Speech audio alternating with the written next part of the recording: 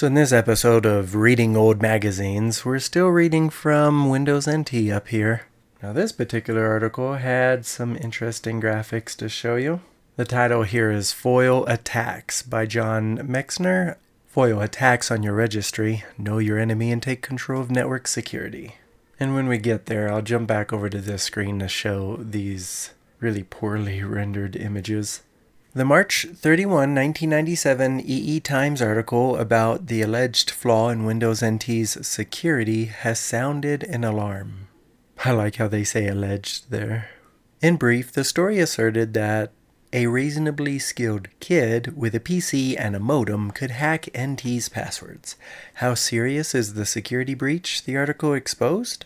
In a official statement, Microsoft wrote that the only true threat to NT security is from someone first obtaining an administrative account and password. Okay, so I can see how that's an important distinction.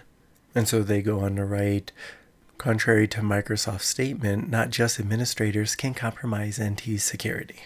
The crux of the issue is who has access to the security account manager and security hives of the NT registry.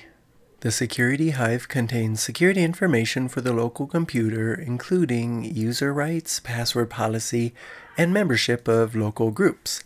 The SAM Hive needs the Security Hive to work properly. If hackers can access the SAM Hive, they can use a utility such as pwdump, and then they give a link to a website, which I don't know if it works, to obtain this. And apparently this is what screen 1 shows. And what it's showing is changes being made by the utility on the registry to let users read the SAM. So what is SAM? You know, five seconds ago we read that it was Security Accounts Manager. pwdump provides a printout of the hash codes and therefore makes them accessible to password crackers such as ntcrack and I don't even know how to pronounce that, so I just wrote it out. Here are steps a potential hacker could follow to crack NT security and what you can do to prevent such attacks on your system. So part 1, hacker goal 1 being to gain access to the SAM. Users can gain access to the SAM and security hives in several ways. Microsoft says the best way to protect your NT system is to protect the administrator accounts. But administrators are not the only users who can access the SAM and security hives. Server operators, backup operators, and even ordinary domain users can view and dump hash codes from the registry. Protecting administrator accounts is not enough. By default, no user has the proper permissions to access or even view the NT SAM. However, the SAM and security hives are like other files. Users who have permission to copy the registry files, such as users who might have to back up the registry, can copy and manipulate these files on a whim.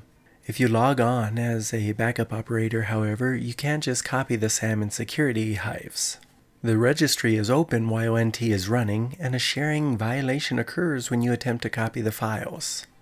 However, the regback utility on the Windows NT Resource Kit, CD-ROMs, lets anyone in the administrator, server operator, or backup operator local groups copy the open registry. The list of potentially dangerous users, however, includes more than these three groups. Regular domain users can invade NT security if NT is on a fat volume, and they have permission to restart the machine. All they have to do is boot to DOS, copy the SAM and security hives from the system root system32 config directory, and they're in business. And I actually typed out what that directory looks like right above here. If you know what the percent sign means, share that with everyone in the comments. In general, if NT is on a NTFS volume, domain users can't boot DOS and copy the hives. But NTFS DOS, a utility written by Mark Russinovich and Bryce Cogswell, lets users mount the NTFS volume in DOS. Microsoft says that the true security is physical security. Following Microsoft advice, lock the machines away and remove ordinary users' permission to restart the computers. If users can't restart the machine, the possibility of rebooting to DOS on a fat volume or using NTFS DOS is no longer a threat. so this is me commenting here. Just imagine the world where you tell your users they're not allowed to do that. I'm glad we now have other solutions.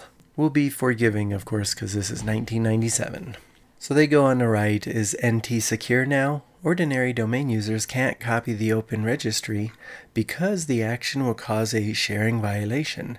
Nor can users back up the system because they don't have permissions associated with the administrator, server operator, or backup operator accounts.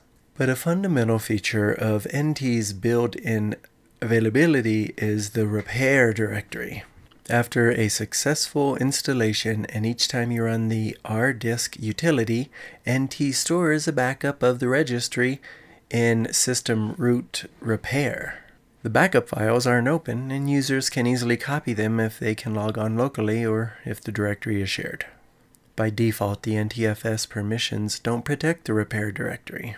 All users have read control and read control offers enough permission to copy files. For ordinary users to obtain the SAM Hive that contains passwords, they must access the current version of the registry. The registry is vulnerable in at least two ways. First, even though NT doesn't look back up the security and SAM Hives by default, when you run rdisk, a copy of the SAM from the original NT installation remains in the repair directory. If the administrator has not changed the administrator password since the original installation, the password is at risk. Second, many administrators use the rdisk slash s command, which includes the security and SAM hives in a backup to an unprotected repair directory. In summary, here's how you can prevent an ordinary domain user from gaining access to the SAM and security hives on your servers. Don't permit local logon to servers. Use NTFS volumes instead of FAT volumes. Physically secure the servers. Change the default permissions of the repair directory. And last is secure your emergency repair disks and tape backups. Remember, users can still access their local machine's registry through the repair directory or an emergency repair disk and attempt to crack the local machine's administrator password one way to prevent this attack is to convert to NTFS and set more restrictive permissions on each workstation's repair folder. Now their next section is called Hacker Goal 2, Dump the Hash Codes.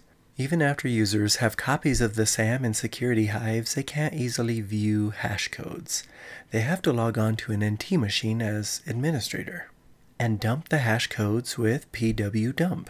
If they manually copy both registry files into their own registry, NT will use the hijacked SAM.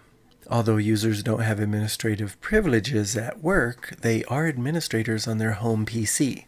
From their home PC, they can dump the hash codes and at their leisure perform as many dictionary attacks as they need to find the passwords. To copy the hijacked SAM to a local registry when NT is on a fat volume, users just boot to DOS and copy the file.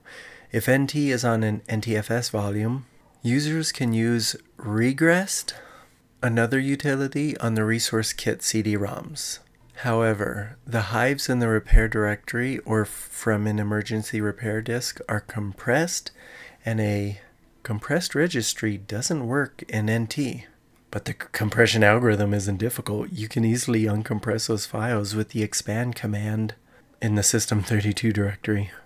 If users replace the SAM and attempt to log on as the hijacked administrator, they overwrite their personal administrative password and don't know the new stolen password. However, the utility NT Locksmith, available at http uh, wininternals.com, lets you change the local administrator password. So just anybody can get this utility, okay. Well, running this utility requires physical access to the NT machine, so they'll probably just tell you about physical security again if you were to complain. They go on to say most people do not have the physical access to servers at work, but they have access to their own PC. So after users change the password, they can log on locally and dump the hash codes from the hijacked SAM. The next section is called Hacker Goal 3 Crack NT's Passwords. Once users have the hash codes, they can use NT Crack, or this other tool that I can't pronounce but I've typed out. But these tools allow you to perform dictionary attacks.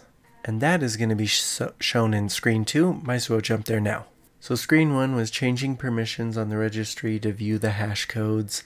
Here's all the hives. And this window says registry key permissions. This is registry key SAM.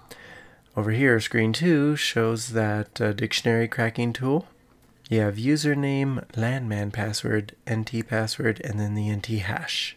The outcome of the password crack depends on the quality of the word list or dictionary.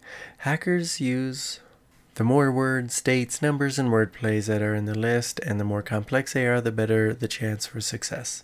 Therefore, a good password security policy greatly reduces the likelihood of a successful crack. For good password security, you can prohibit blank passwords and require certain password lengths, for example, a six character minimum. Require complex passwords, usually a random selection of letters and numbers, and you should be just fine. NT's user manager won't let you force complex passwords. However, you can set all the user's passwords manually and not let them change. Oh wow, that is horrible policy in retrospect. Well, screen 3 shows how you can use a resource kit utility passprop to require a simple level of password complexity. In addition, you can make passwords expire after a certain period and keep a password history so users can't use the same password repeatedly. And I won't even show you that picture because it's just so low, low quality of an image. Looks like it's a command line tool though. So this article's last section is called Is All Hope Lost? My goal here is to show hackers step by step how to break into NT. Oh, it's not his goal. Sorry, did I skip that word not? Rather, I want to call NT administrators to arms to strengthen their network's weakness before someone takes advantage of it. The best way to defeat the enemy is to understand the enemy's tactics and know your weaknesses. Is NT insecure? It is open to exploitation, but strong security policies will greatly reduce the possibility of a security breach. These dangerous utilities are useless until someone can gain access to NT's registry. Microsoft has not protected NT's registry as well as it might have. Okay, that's an understatement. You can counter this weakness by implementing stricter security on the Active Registry and especially the registry backups, tape backups, the repair directory, and emergency repair disks. The registry is secure, NT is secure. And if NT is secure, you can sleep better at night. That's a pretty nice way to for John uh, Mexner to end the article. And that'll be it for this video. Thanks for watching.